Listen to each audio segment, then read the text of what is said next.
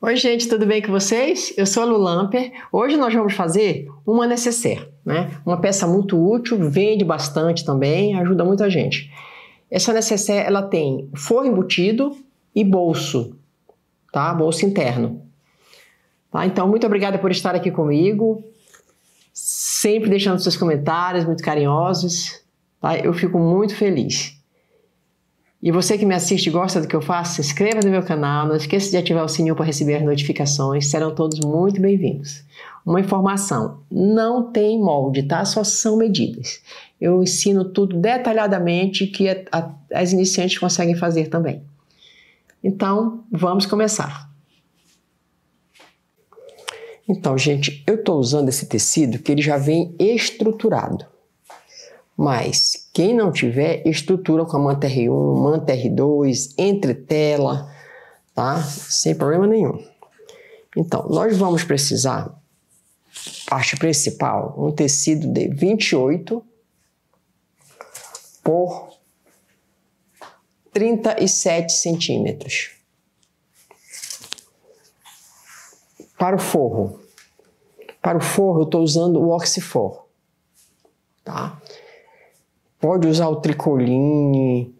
O que vocês tiverem de tecido, pode usar. Estou usando aqui por opção minha, tá? Estou usando o Oxifor, né? Da mesma medida. 28 por 37 centímetros. Para o bolso, fazer um bolsinho, né? Que sempre é útil. Duas, duas peças de 17 por 12 centímetros. Fazer um puxadorzinho, vou colocar nela, tá? Vocês vão. Tudo isso aqui é tricoline, tá, gente? Como é? Desculpa, é o que se for, tá? Vocês vão precisar cortar uma pecinha de 10 por 6 centímetros. Eu estou usando o zíper de metro número 3, eu cortei 33 centímetros, um tamanho maior, tá? Para fazer a caixinha, eu sempre, quem me conhece, me acompanha, sabe que eu sempre faço essas colinhas que facilita muito. Eu vou fazer a caixinha de leite de 3 por 3. Eu já faço, pego um pedacinho de papelãozinho, ó, e faço isso, tá bom? Então, Eu vou fazer assim aqui, ó. Pegar aqui direito com direito, tá? Deixar uma abertura aqui, tá? Vocês viram a, a que vocês precisam, né? Vou costurar pezinho de máquina. Eu vou fazer na máquina doméstica, tá? De 0,75 pezinho de máquina. Até aqui deixa essa abertura. Vou desvirar e passar ferro tá bom? Esse aqui. Olha, dobra ao meio, dobra as laterais e dobra novamente. Eu vou passar uma costurinha rente aqui desse, dessa lateral e aqui também. E aí a gente já dá continuidade, tá bom? Então, gente, costurei o bolso, né? Desvirei, passei a ferro, em cima, aqui, aqui ficou a abertura. Em cima eu fiz duas costurinhas. Uma rente e outra pezinho de máquina. Aqui eu, eu posicionei no, no forro, eu medi daqui, olha, dessa base para cá, 4 centímetros e meio. Medi 4 centímetros e meio e, centralizei o bolso. Aqui, ó. E fiz uma costurinha prendendo. Quando eu costuro aqui, eu já fecho a abertura tá? Essa aqui também já costurei nas duas laterais e, dobrei e fiz uma costurinha aqui, que nós vamos posicionar esse puxador, tá? Então agora vamos fazer isso.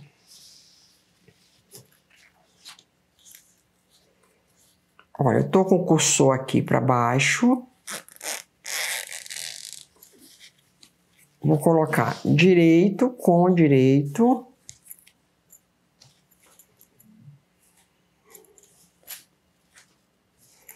Deixa Eu vim até aqui para facilitar. Pronto. Direito com direito, cursor tá para baixo. Vou colocar aqui, olha. Direito com direito também. E vamos passar um, com um pezinho de zíper aqui, uma costura.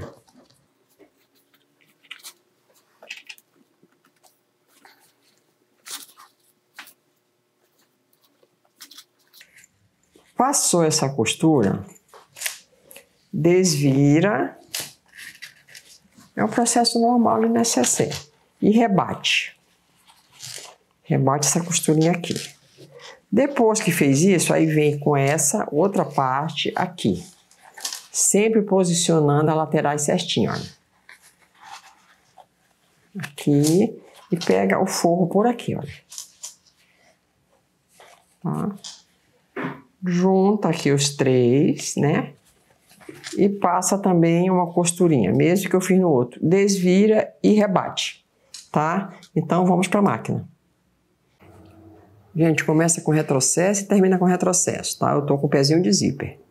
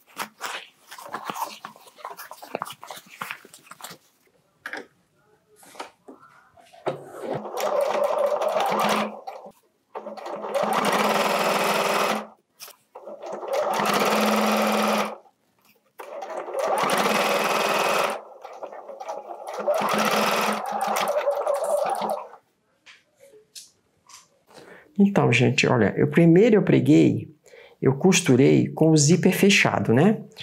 Quando eu fui costurar o outro lado, eu removi o cursor e deixei assim para poder passar essa costura, para rebater essa costura. Agora, nós vamos colocar o cursor. Por que, que eu faço assim? Porque a sobrinha fica tudo certinho, olha. Aqui. Podia muito bem destacar um primeiro e pregar outro. Eu não gosto, tá? Eu acho que assim fica muito melhor.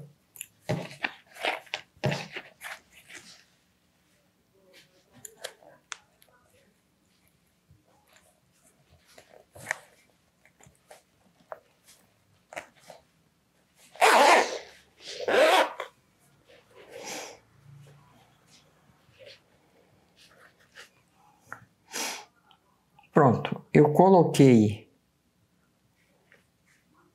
o cursor uma vez. Aí eu faço isso, olha.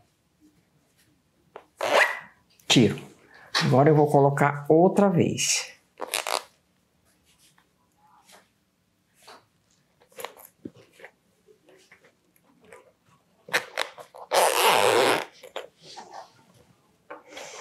Pronto, deixo aqui no meio e desviro. Tomando cuidado para não abrir aqui, gente, tá? Podia muito me colocar um pontinho aqui para não abrir, mas não vou fazer não. Vamos logo desvirar.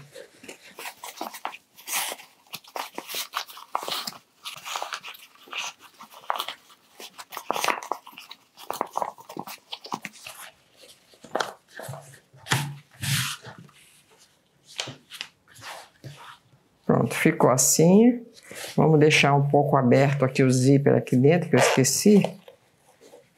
Vou deixar um pouquinho aberto.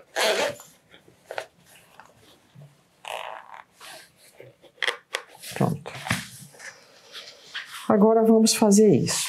Olha, o zíper, essa parte fica pro lado do forro, tá? Aí junta costurinha com costurinha.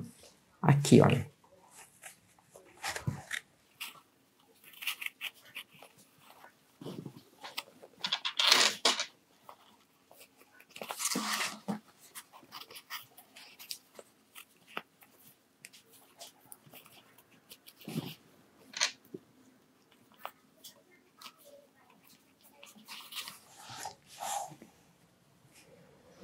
Aí nós vamos medir aqui, olha.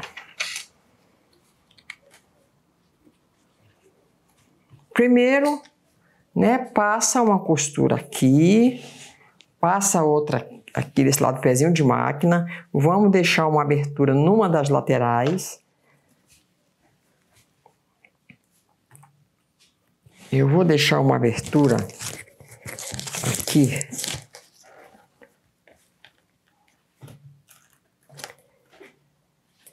de 9 centímetros.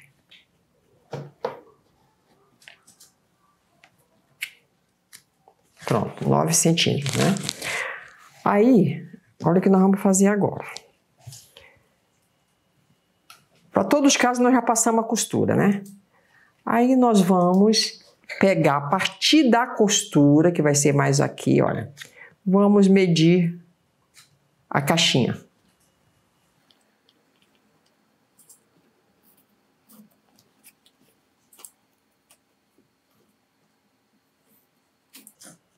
A partir da costura, gente. Aqui vai ser a costura, eu estou colocando a partir da costura.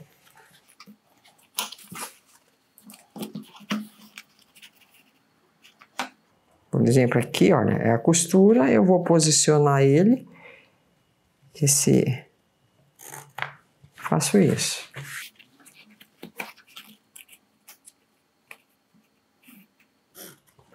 Faço isso do outro lado também tá?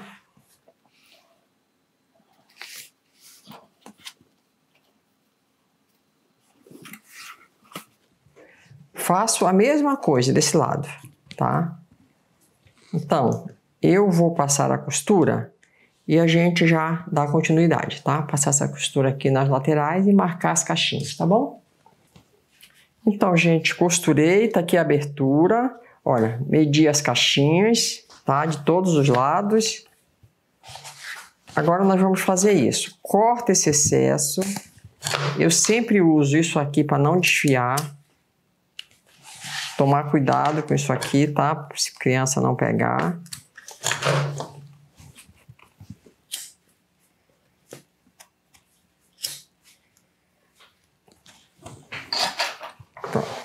Agora, como for reembutido, nós vamos fazer isso pega isso que eu vou fazer nessa lateral, eu vou fazer nessa também. Faz isso aqui, ó. Ajeita a caixinha.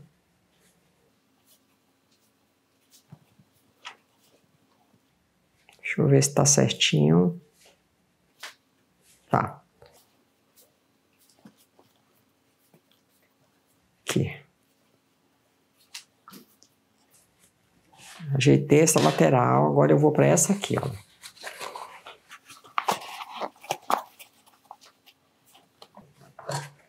Eu vou abrir, cortar aqui. Que eu não gosto de cortar antes, porque eu vou costurar pela pela marcação. Aí eu faço sempre isso que eu mostro para vocês, né? Coloco aqui, olha, dá certinho. Aí eu faço isso, olha. Pego essas duas pela lateral aqui, gente, pela lateral, tá? Coloco aqui uma em cima da outra. Isso aqui aberto. Essa aqui também eu vou abrir. Eu não abri, né? Mas eu vou abrir. Que fica melhor. Pronto. Aí eu coloco aqui.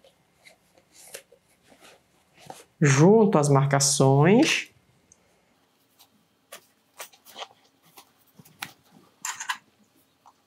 Olha, e vou passar uma costura bem em cima, onde está marcado. Vou fazer isso nas duas laterais, vou desvirar, fechar a abertura na máquina e a, a, a, a necessária já está pronta, tá bom? Gente, eu esqueci de colocar o puxador. Eu estou descosturando aqui na lateral para colocar, olha. Coisas que acontecem com a gente, né? Que todo mundo acontece isso. Pronto.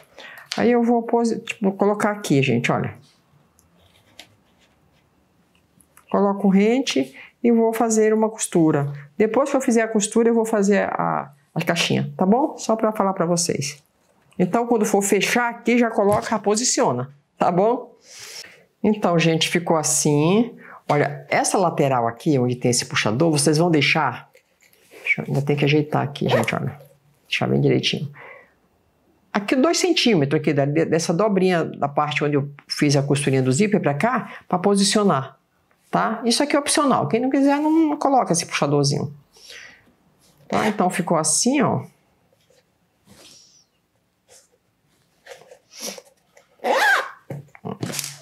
Olha a parte aqui do, da caixinha, como fica bem bonitinha.